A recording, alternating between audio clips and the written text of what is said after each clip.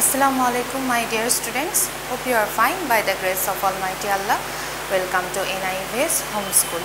I am Nasima Akter, Assistant Teacher of Science, National Ideal English Version School, Morning Shift. Dear students, today I am going to take an elementary science class for class 4 students. Dear students, today our topic is chapter 7 broad question. Let's see today's topic. Students, our today's topic is chapter 7. Today we will do broad question 1 to 3. And this is lecture number 7 and today's HW number is 6 number HW. So dear students, let's begin the class.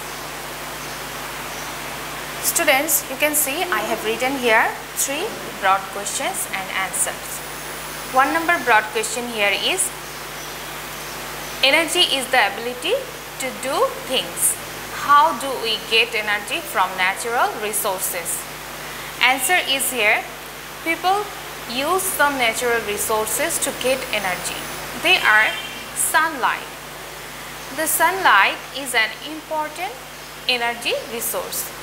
People use solar energy, solar panels to get energy from the sun that transform sunlight into electricity. Wind. Wind is one of the most promising energy resources. When the wind turns the blades of a wind turbine, it spins a generator and produces electricity. Next is water current. Water current is the most widely used energy resources. Water current turns the blade of a turbine and spins a generator to produce electricity. Four number is oil, coal and natural gas. Oil, coal and natural gas are non-renewable resources.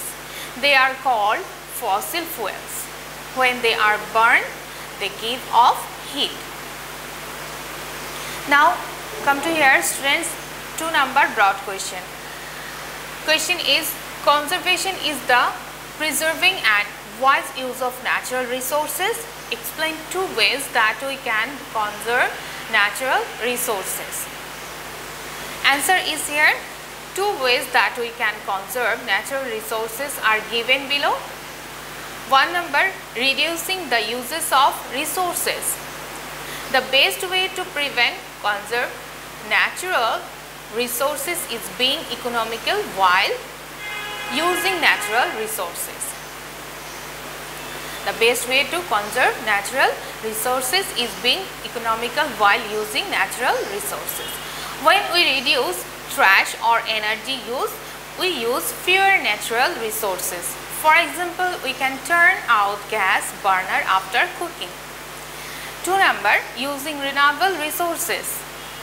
People get most of the electricity mainly from non-renewable resources such as oil, coal and natural gas. However, non-renewable resources cannot be replaced once they have been used up. Instead, we should use renewable resources such as sunlight, wind and water current. Students, now 3 number broad question. Question is, a renewable resources is a natural resource that can be replaced by natural nature and can be used again. Why is it important to increase the use of renewable energy? Answer is people get most of electricity mainly from non-renewable resources such as oil, coal and natural gas. However, non-renewable resources cannot be replaced once they have been used up. Non-renewable resources are limited so, we should find out other resources to get energy. We should use renewable resources such as sunlight, wind, water current, etc. If we use more renewable resources, we, we can if we use more renewable resources, we can preserve non-renewable resources for future. That is why it is important to increase uses of renewable energy. Students, I have finished uh, today's topic now HW. Today's HW number is 6 number and your HW will be 1 number broad question BQ number 1. Here is total 3 broad question and from 3 your HW will be 1 number broad question.